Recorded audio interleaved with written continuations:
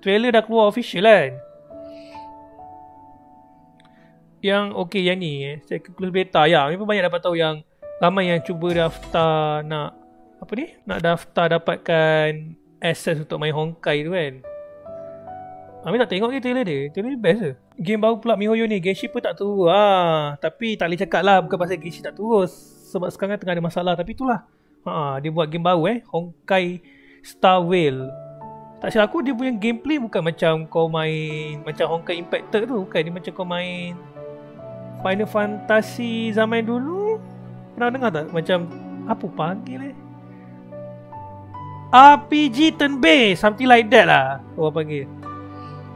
Ni Honkai Team. Ah, betul? Tak bagi tengok dulu, tengok trailer dulu.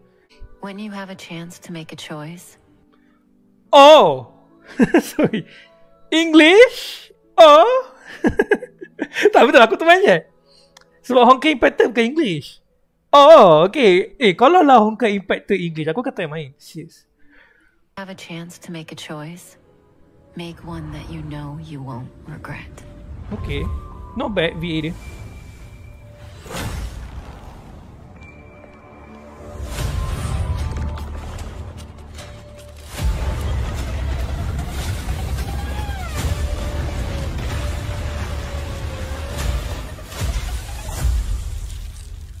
Oh, siapa dia? Tak kenal. Otto? Tak, bukan. Kakak Otto? At the end of your journey, all that perplexes you and troubles you Oh. World Honkai macam selalunya dia macam futuristic eh. Interesting, interesting. will resolve.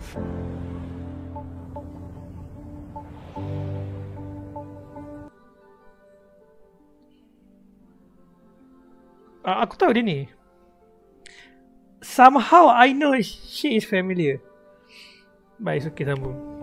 Sebab Abi ada satu kawan Abi dia selalu cerita pasal uh, Honkai Impacted sem- karakter semua lah. Auto semua. Abi macam Abi tak main pun Honkai. Tapi macam Abi faham cerita dia sebab ada kawan Abi yang selalu cerita apa yang jadi kat Honkai ni. So uh, ada Auto dalam ni. Uh, eh, Auto Apocalypse. Siapa yang main Honkai tahulah. Dia main villain semua. Kira macam karakter sangat penting dalam dunia Honkai lah. So yeah, interesting. By the way, siapa ni? Macam Fatui pula ada. Fatui. Ni World Honkai lah. Interesting. Macam dia Chasm ah. Oh, ada. Macam dia Chasm. Alright, ni macam bandar, macam monster. Something like that. Oh.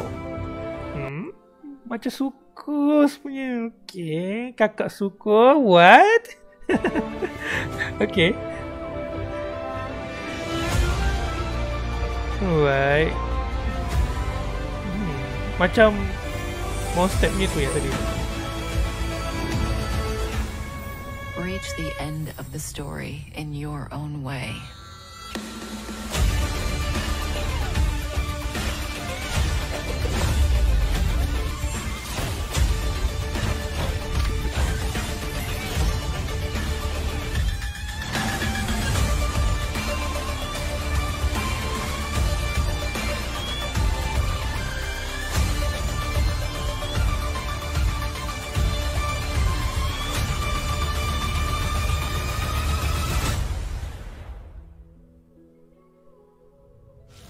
Interesting.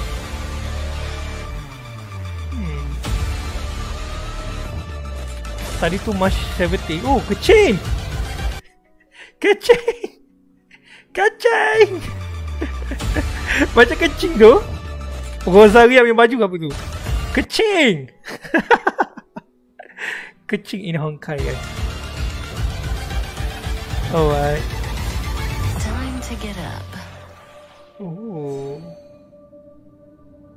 Macam ada vibe-vibe dance lah eh. Perempuan yang cakap dalam dialog trailer ni. Alright. Oh, I know this guy. This guy somehow look familiar tu. Hmm. Gulak siapa yang nak main Honkai Star? Ah, uh, berapa habis tentang Honkai Star Whale? Macam macam kata tahu sikit-sikit yang di mana dia turn based RPG macam kau main game zaman-zaman dulu tapi bukan macam game zaman dulu. Cara main dia macam game zaman dulu. Which is kau tak boleh gerak suka-suka hati lah macam kau kena turn based. Ya, yeah, turn based macam tu. Tapi tak sangka pula ada orang kata game ni berat. Ah, itu aku tak sure lah. By the way, ya yeah, Honkai Star Rail uh, another game uh, publisher, publisher by Hoyoverse, developer bukannya Genshin Team eh by the way. Honkai Team. So apa pendapat korang pula tentang Honkai Star Rail? Best ke? Ada datang main kat sini ke? Ada dah sign up and dapat main ke? Ke belum lagi? Pendapat Amri Amri tak minat turn based RPG So Amri mungkin tak akan sentuh But when it comes to story Amri interesting untuk tahu apa yang jadilah. Uh, nak, Amri nak tahulah apa, apa yang jadi. Tapi Amri mungkin tak main kot. Sebab Genshin pun tak Amri main eh. So yeah That is my thought lah About Rail lah